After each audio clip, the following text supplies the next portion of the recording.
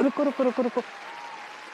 बेटा लड्डू स्कूल का टाइम हो गया जल्दी करो। हाँ हेलो मास्टर जी। जी नमस्ते भाभी जी। एक ठो मिनट रुकिए हाँ। और लड्डू जल्दी आओ लड्डू। मास्टर जी आ गए हैं तुम्हारा इंतज़ार करे रिक्शे पर। लड्डू। मैंने कहा भाभी जी क्या बात है? आज आपकी जुल्फ पे जो खम पड़ते थे वो खम अब बस कीजिए प्रभुति जी अभी आप देख ना ही रहे हैं का कि हम बहुत जल्दी में हैं। शांत रहिए दो मिनट। संस्कार नाम का चीज़ है कि नहीं? देख मास्टर जी कब से खड़े हैं? ये लो तुम्हारा खाना और तुम बस्ते में सब रख लिए? हाँ हाँ। अब मन लगा कर पढ़ाई करना हाँ और बिल्कुल मस्ती ना ही करना। ठीक है भाभी अब हाँ बाय स्टडी वेल अब बाय वैसे- बाय लड्डू। मैंने कहा भाभी जी इतनी प्यार से विदाई मिलेगी तो हम स्कूल में एडमिशन ले लें क्या? आप क्या बोले? अब आपकी छोटी हड्डी निकल गई है अब भाभी जी के साथ वन टू वन होगा। आप क्या बोल रहे हैं? हमारी कुछ ना ही समझ आ रहा है। आपने सुना नहीं? कानपुर के बाहर एक बड़ा ज़बरदस्त मेला लगा हुआ है। यस आपको पता है हमको ना मेले में घूमने का बहुत बहुत बहुत शौक है। भाभी जी मुझे पता है। जैसे मैंने सुना ना मेले के बारे में आप मेरी आँखों के सामने नाच गई। मतलब आ, आ, आपकी तस्वीर मेरी आँखों के सामने आ गई भाभी कितना अच्छा लगता है प्रभुति जी। और जब हाथों में हाथ डालकर मेले में एक हाथ में बर्फ़ का गोले की चुस्किया लेकर और पूरे मेले में बस घूमना। श्योर हाथ में हाथ डालकर ये आप बोल रही है या या मैं कोई सपना देख रहा हूँ? आई तो सपना है हमरा। आपको पता है वो जो वो जो गोल गोल घूमता है ना झूला? मैरी गो राउंड सही पकड़ा है। वो जो झूला होता है हाँ। वो में बैठ कर और फिर जब वो झूला जाता है ऊपर और फिर डर से ऐसे चीख निकल जाता है और फिर ज़ोर से गले लग जाओ। हाय दिया। ओह माय गॉड भाभी जी। बस भाभी जी और मत बोलिए, मेरे आँसू निकल आएँगे भाभी जी। अच्छा बताइए क्या क्या देखा आपने सपने में? हाँ बताते हैं।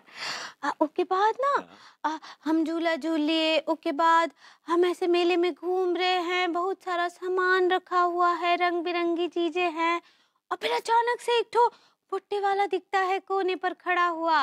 उसके पास जाते हैं और उसके पास बस एक ही भुट्टा है। हाँ. और फिर वो भुट्टा खरीदते हैं। उसके बाद एक तरफ़ से हम खा रहे हैं और दूसरी तरफ़ से भैया लड्डू के भैया। लड्डू के भैया कहाँ से आ गए मेले में? और भुट्टा क्यों खाएँगे मेले में वो? वही जाएँगे मेले में और भुट्टा भी वही खाएँगे। आपको क्या लगता है कि हम ई सपना किसी और के साथ देखेंगे? कबाब की बड़ी वाली हड्डी आई गई बीच में। कहा बोले? भाभी जी आप लड्डू के भैया के साथ तो यहाँ वहाँ घूमती रहती कभी इस दीवाने को तो मौका दीजिए मेले में घुमाने का। हाँ? मैंने कहा "ब- ब- इस पड़ोसी को मौका दीजिए मेले में घुमाने का लेके जाऊँगा आपको मेले में।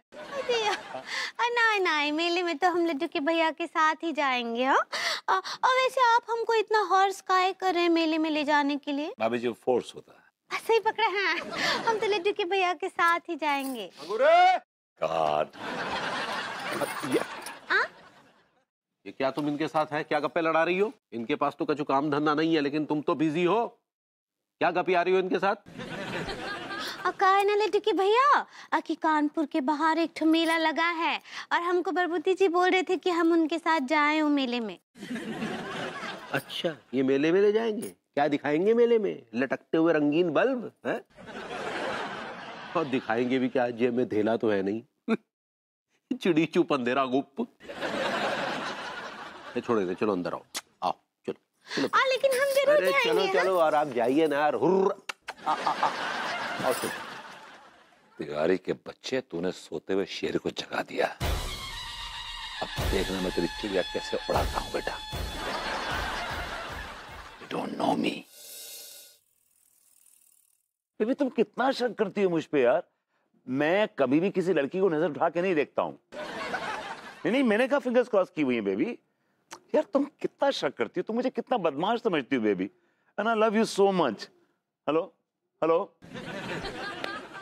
यार, ये बीवियाँ भी ना सेटेलाइट की तरह होती हैं बाय गॉड इतनी दूर बैठे हुए भी हमारा लाइव टेलीकास्ट चल रहा होता है इनकी आँखों में। गॉड हाय विभूति मेरे दोस्त, मेरे भाई, कैसा है तू हाँ? तू कहाँ मर गया था? मतलब कहाँ गायब हो गया था? दिखा ही नहीं यार अबे ओ, मैं हांगकांग गया था घूमने के लिए। तू तो जानता है मेरे पास बहुत पैसा है। हाँ। हांगकांग तो हम भी जा सकते हैं बस ऐसा है कि फुर्सत नहीं है हमारे पास बिज़ी हैं। अबे हो क्यों झूठ बोल रहा है बे? साले तेरी हरिद्वार जाने की तो औकात नहीं है। हांगकांग क्या तू खाक जाएगा हाँ? अरे छोड़ना है बता कैसा रहा तेरा ट्रिप कुछ स्पेशल बहुत ही स्पेशल मेरे लिए कुछ लाया क्या? चल बे तेरे लिए कुछ भी नहीं लाया हूँ। लेकिन हाँ मैं अपने लिए स्पेशल चीज़ लाया हूँ। ये देख बेटा।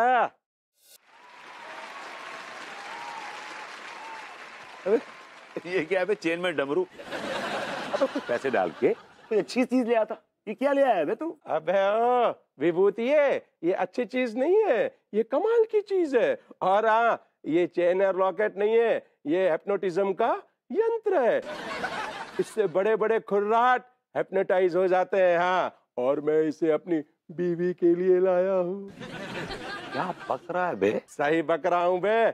इससे तू किसी को भी अपने वश में करके कुछ भी करवा सकता है। मैंने एक चिन्नी बंदे को हेप्नोटाइज करके उससे मोहम्मद रफी साहब के गाने भी सुन लिए। तेरी बीवी कहाँ है अभी? वो कल आ रही है। मैंने उसको हांगकांग में हेप्नोटाइज करके छोड़ आया हूँ। यार एक दिन तो घर में आराम से चैन से रह सकता हूँ कि नहीं? वो जैसे ही आ जाएगी फिर उसे हेप्नोटाइज करके गाय बना दूँगा गाय। हाँ सुन ना ये तू दे दे मेरे को सिर्फ़ एक दिन के लिए। तेरी बीवी आ जाएगी वापस ले लेना मुझसे। चल ठीक है यार एक दिन के लिए रख ले। लेकिन एक बात सुनना तू इसे क्या करेगा? भाभी जी तो घर पर है नहीं हाँ? एक पुराना हिसाब किताब चुकता करना है। अब मदारी डुगडुगी बजाएगा और पंदर नाचेगा। हाँ। आज की सनसनीखेज न्यूज़ ये है कानपुर शहर के अंदर कुंवर बिल्ली के अंदर डटकर लाठी भाटा जंग हुआ। लाठी भाटा जंग के दौरान दस बिल्लियाँ घायल हुई दस चूहे घायल हुए। सरकार ने उन्हें पाँच पाँच लाख का मुआवजा देने की घोषणा की है। मैं कैमरामैन मल खान के साथ में हैंडसम टीका A to Z news live reporting. अरे छागो तू तो रिपोर्टर बन गया एकदम यार।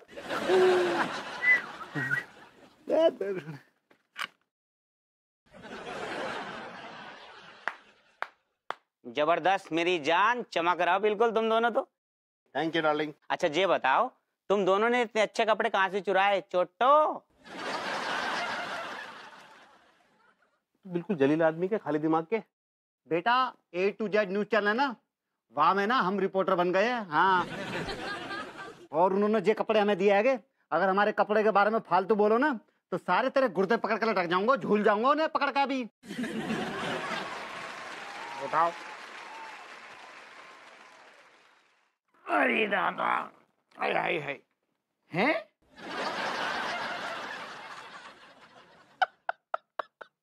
ये लौंडा तो आज बड़े चमक रहे क्या बात है भैया?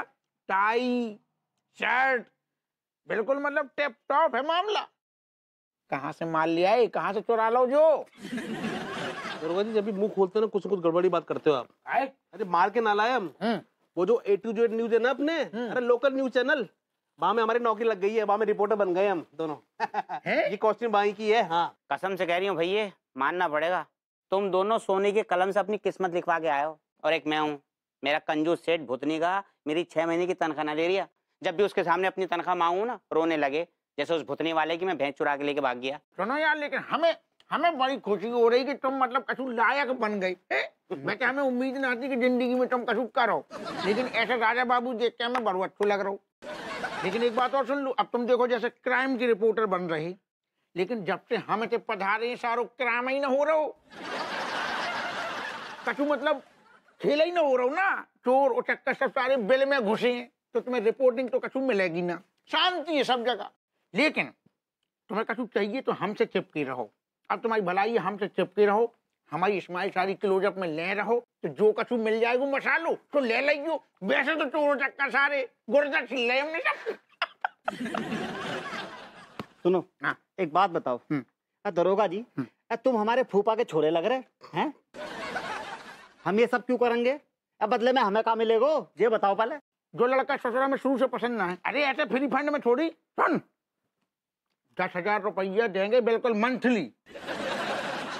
लेकिन जब तुम सारे रिपोर्टिंग करो तो दुनिया का तेल लेने हम आओ एक ऐसे किलो जब कटे तो नेम प्लेट में हम पूछेंगे ई के नीचे इतना ज़रूर दिखो चाहिए हम देखते रहेंगे दस हज़ार की गड्डी जो मिलती रहेगी। कैसी कही? बिल्कुल अच्छी गई पूरा काट के लेंगे हम आपको। ला ला ला ला ला ला। भाभी जी? भाभी जी? गए भाभी जी। सेठ जी भी नज़र ना आ रहे। आ रहे आ रहे हैं दिया भैया। भाभी जी नमस्ते। हाँ हाँ खुश रहिए खुश रहिए। हाँ? बस भाभी जी आपका आशीर्वाद है। भाभी जी सेठ जी नज़र ना आ रहे। कहाँ है वो? आ, वो कहा है ना कि लड्डू के भैया को बहुत ज़रूरी काम आ गया था कोनो क्लिंटन से मिलना था।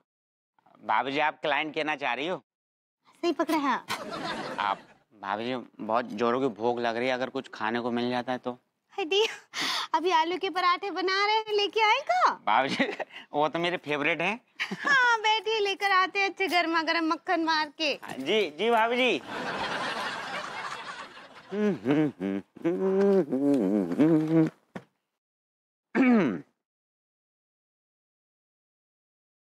ला ला ला ला।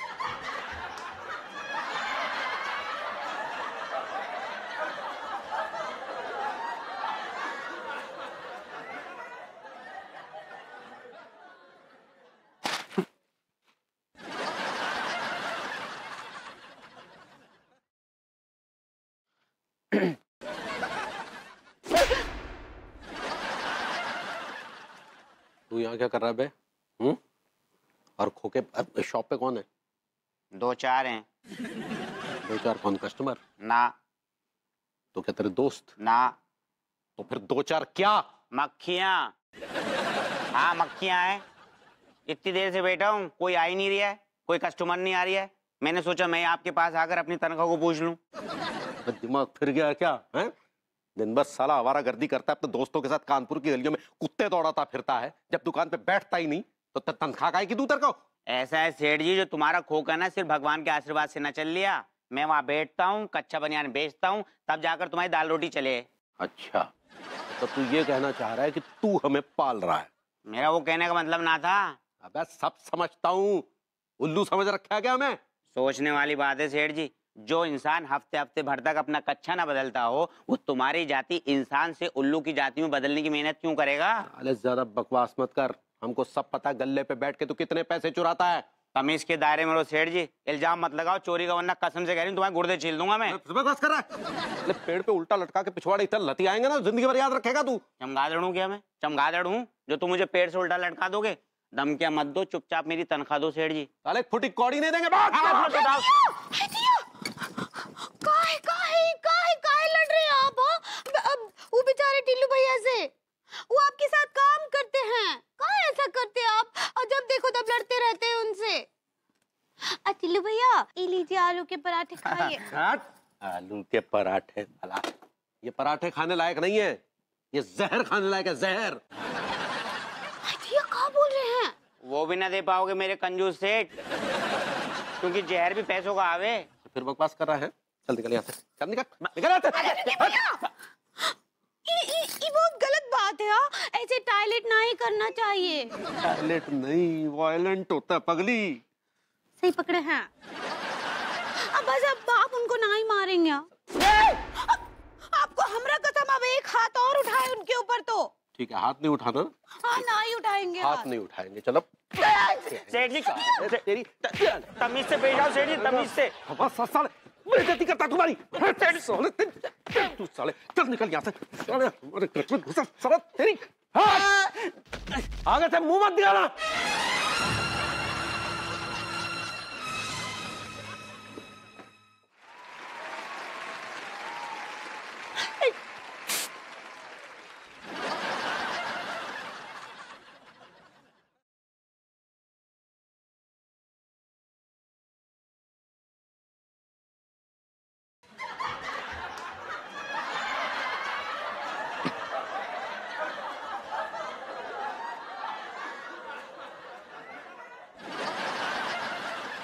क्या हुआ मेरे बदतमीज और गरीब दोस्त?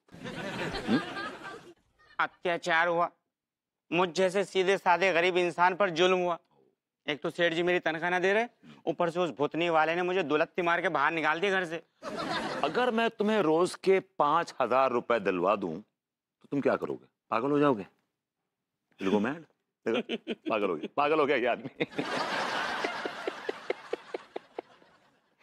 मैं पागल ना हुआ तुम्हारी बात पे हंस रही हूँ मैं। वो इतना बड़ा वाला कंजूस है, पाँच रुपए भी निकालना मुश्किल है। अगर पाँच हज़ार रुपये रोज़ाना निकलवा दिए ना तो सेठ जी कसम से कह रही हूँ, भाभी जी विधवा हो जाएँगी। इतना बड़ा झटका लगेगा, सेठ जी को निकल लेंगे वो। वो सब मुझ पे छोड़ दे। मैं तुझे रोज के पाँच हज़ार दिलवाऊँगा। उसमें से साढ़े चार मेरे होंगे, पाँच सौ तेरे होंगे। कमीशन? और फिर खातिरदारी होगी जमाई राजा की तरह हाँ? आवभगत होगी। बोल, क्या बोलता है? वैसे तो सेठ जी ये काम असंभव सा लग रहा है। हम्म, और जो काम होने वाला नहीं है उसका लोड क्या लेना? फिर भी तुम्हारा दिल रख लेते हैं। अगर तुमने मेरे कंजूस सेठ को मेरे पामों में लौटवा दिया और उससे पाँच हज़ार रुपए दिलवा दिए हम्म। तो सेठ जी कसम से कह रहे हो मैं तुम्हें मान जाऊँगा। तो बेटा मानने के लिए तैयार हो जा। क्या समझा? आह।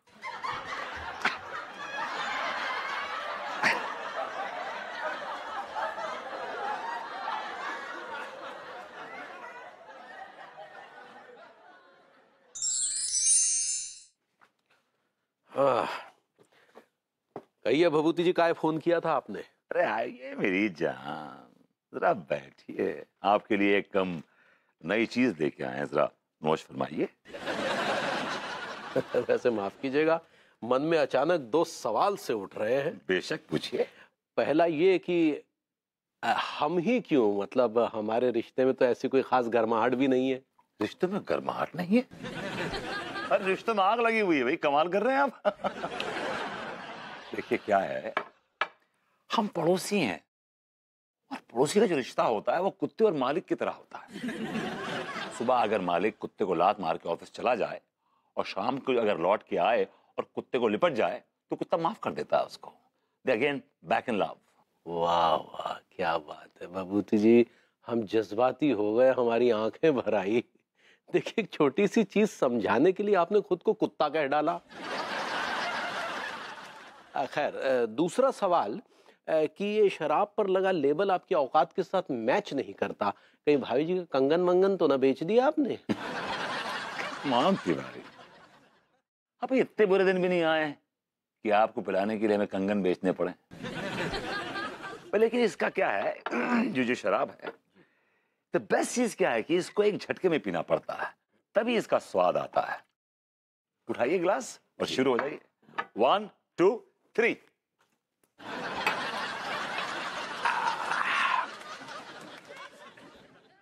अरे यार ये तो देसी ठर्रा है। आपने ये लेवल चेक किया था या नहीं किया था? एक और ड्रिंक पियेंगे ना आप तब आपको मालूम पड़ेगा कि टेस्ट क्या है इसका। पीजिए पीजिए मज़ा आएगा। बस बस बस अरे कम से बस। बड़ा पैक तो पीजिए लीजिए।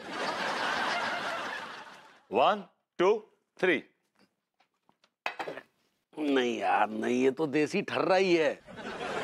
हाँ, छोड़िए। Come to the point Tiwari ji आप तो बड़े रईस किस्म के आदमी हैं हमेशा पैसा देखा है आपने। आपको तो मालूम होगा प्रेशर स्टोन्स यानी कि पत्थरों के बारे में जानकारी तो होगी आप हाँ वो तो है।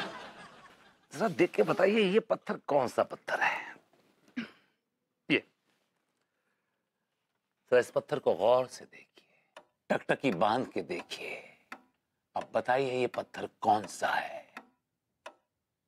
अब आपका कंट्रोल आपके शरीर से हट रहा है। वो तो पहले पैक के बाद ही हट गया था। Up. अब मैं बोलूँगा आप सुनेंगे। इस पत्थर को गौर से देखिए। अब आपकी आँखें बोझिल हो रही हैं। अब आपका जो दिमाग है उस पे से आपका कंट्रोल हट रहा है। शरीर से कंट्रोल ऑलरेडी हट चुका है। अब आप अब आप मेरे गुलाम बन गए हैं।